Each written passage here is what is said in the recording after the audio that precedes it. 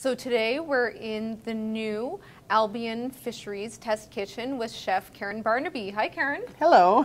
We are so excited to be here with you today, and I think that you're going to be cooking up a real treat for us. What what's going on? I'm going to be cooking mackerel with a peperonata. It's it's it's halfway between a sauce and a vegetable that is called piperade. And what it is, it's uh, peppers and onions and garlic that have been cooked very slowly in olive oil until they become meltingly tender.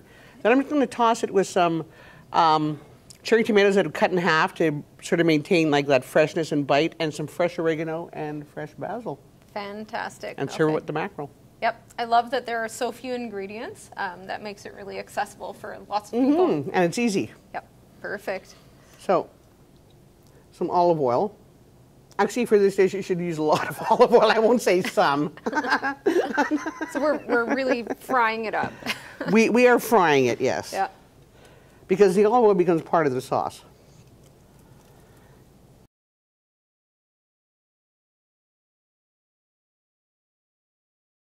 Yeah. So mackerel is also found off uh, the BC coast yes. as well. Yep. And and so mackerel season is in the summer, but you can find it year round. Is that right? You can find it year round frozen. Yep. And most grocery stores you find carry it, or is it just specialty? I, find it's easier to find it in a specialty store, okay. specialty fish store.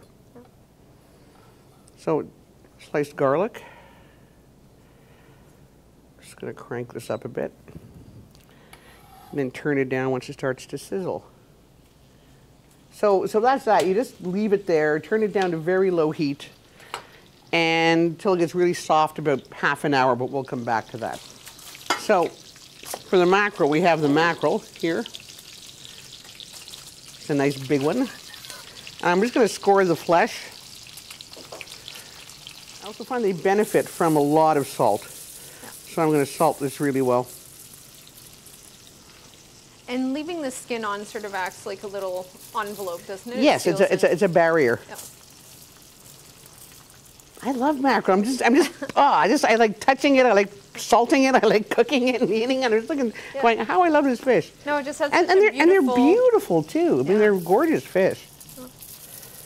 I don't know if I should be going on about how much I love this fish. A little bit of olive oil. And then we're going to pop this in the oven.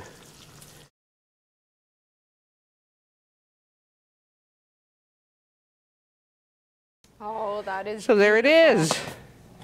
Almost ready for its lovely sauce. Super. And how long did that take us? About 12 minutes. Okay. Yep.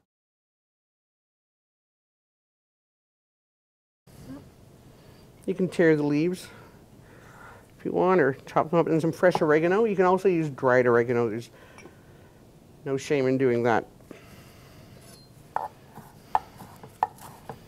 So we're chopping it rather coarsely mm -hmm. Because it looks good. And now do you have to saute the nope. herbs as well? No? And the cut tomatoes. I know it's going to need some salt.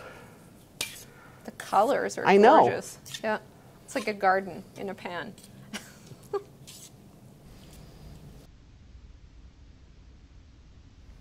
I'm going to drizzle just a little bit of balsamic vinegar on the fish. And I'm using a, a, an aged one. You can tell by the texture. It's very, mm -hmm. uh, very thick. I'm putting on the fish because I don't want it to turn that brown because it's too pretty. I see.